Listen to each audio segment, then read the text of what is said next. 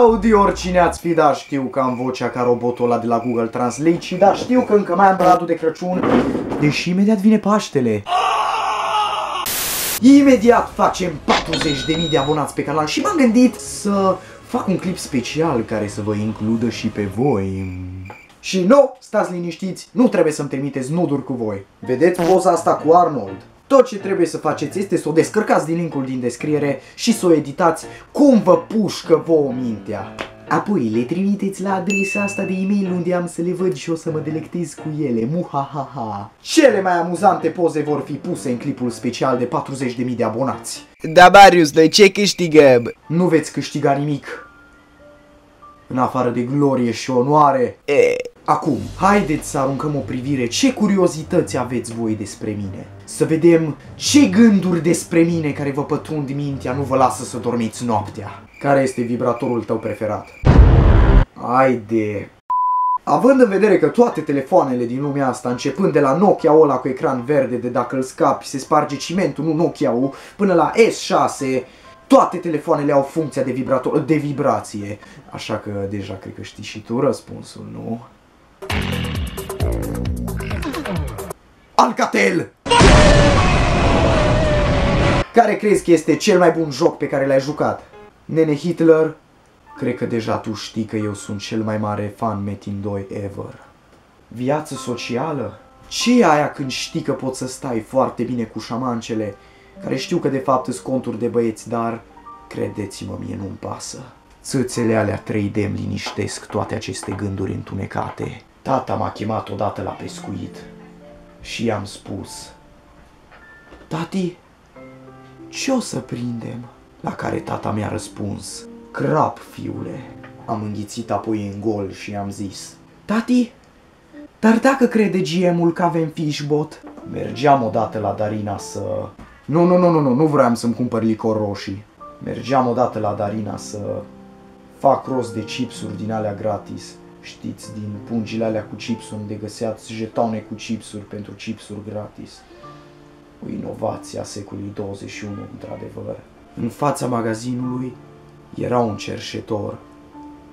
M-am apropiat de el.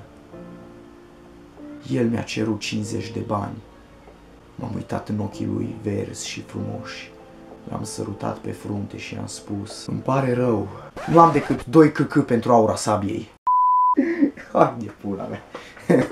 Jocul meu preferat, acum vorbim serios, nu știu, nu știu ce să aleg între Skyrim și Jazz Jack Rabbit 2. Pe de o parte, uh, Skyrim-ul mi-a plăcut foarte mult pentru că l-am cumpărat la reducere și, nu știu, mi-a plăcut faptul că poți să mor dragoni, să călărești dragon, chestii, fus rodah, chestii. Dar Jazz Jack Rabbit 2, mm. m-am jucat cu iepurele ăsta verde constipat foarte mult în copilărie și mi-a marcat într-un mod foarte frumos. Ai fute un xenomorf sau un predator? Ce Dumnezeu e la xenomorf? Hei, trăznilar! De unde vine, mă, Zapi TV? Sincer, um, nu știu. Ah, ba da! Eram odată la școală și uh, colegul meu de bancă era fumat, eu stăteam cu un caiet de mate scriindu-mi idei de nume de canale de YouTube. Și ăsta deodată își ridică capul și urlă Zapi TV! Aplaudați-l, vă rog. Yes! De ce put beșinile? Hmm, îmi pare rău, eu nu sunt bun în acest domeniu, însă cred că cunosc pe cineva care este. O secundă numai. Um, alo, mami? Auzi, am o întrebare. Um, de ce put beșinile? Mai dai lapte? Yes! Ce alegi între KFC sau McDonald's? Uh, e... Niciuna! Sincer, mai bine mânc propria labă decât căcatul la prăjit în pezmet și pus între două chifle de la second hand.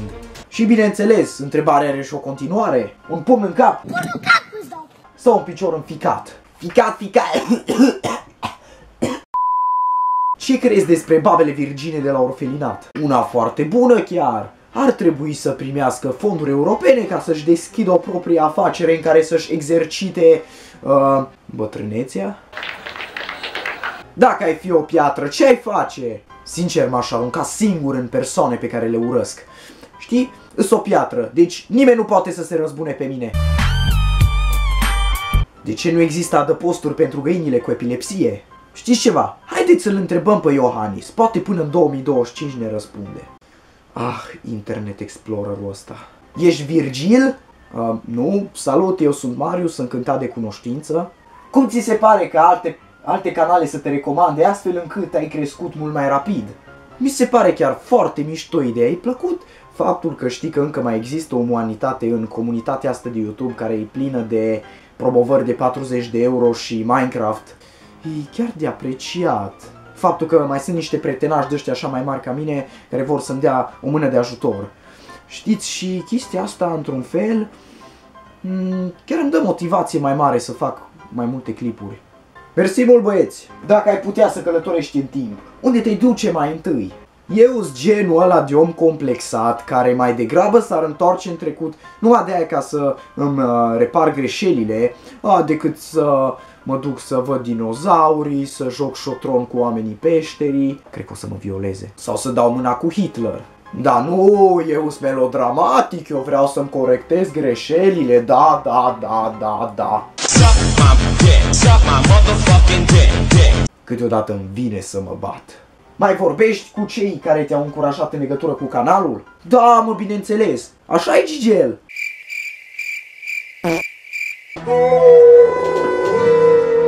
Ce reacție vei avea pe canal 2 milioane de vizionări? Te referi că ce reacție am avut când am făcut 2 milioane de vizionări pe canal? Apoi să știi că aproape am lăsat un cadou maro pe scaun de fericire când am văzut asta. Când pui viața cu eții o bată-te guta cu salamul. Mă, stai, tu te referi la gută bolă sau guță manelistu? Așa probleme existențiale nici la mate nu primesc să mor eu. Cât despre eu o să fie, serios, deci de data asta chiar nu glumesc. Uitați, scenariul e deja și gata. Um, uh, e scris cu uh, cerneală invizibilă. Să nu credeți că sunt doar două foi goale. Părerea ta despre sistemul de învățământ.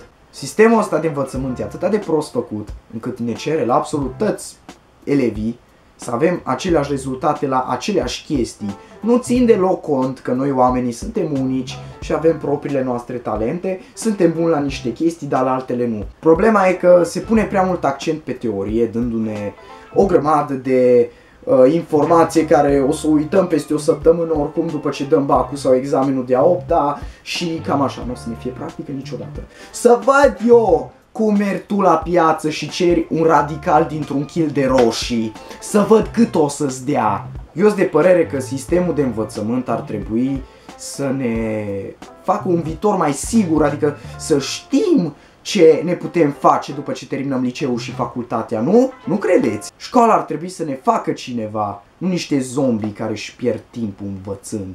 Adică mai pe scurt, sistemul ăsta educațional ne complică viețile la toți. Punct! Fetele se cacă la mariaj. The fuck? De, de ce? Da, da, de ce? Da, de... Și amenințarea săptămânii. XD. Și cam atât a fost din acest eu răspund, dragii mei. Nu uitați să trimiteți acea poză cu Arnold editată la acea adresă de e-mail pentru clipul de 40.000 de abonați.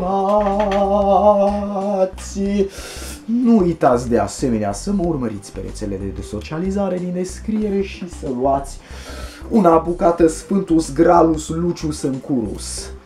Capiș? Salut! Bine ați venit la Assassin's Creed, un joc de acțiune istoric, SF în third person și în first person, sângeros și interzis copiilor, făcut de compania Ubisoft. Povestea acestei francize începe cu Desmond Miles, care este răpit și pus într-un Oculus Rift uriaș numit Animus. Acest aparat te ajută să-ți scanezi ADN-ul ca să vezi cum au trăit strămoșii tăi. Dintre asasinii celebri ai istoriei, care în realitate nici nu există, se pot accesa Altair Ibn la Ahad. Ezio! Și restul. Ăia răi care sunt descendenții cavalerilor templieri îl hărțuiesc pe săracul Desmond cu animusul ca să afle locațiile unor coaie de aur care scot scântei și îți fac clone ca în Naruto. Legit!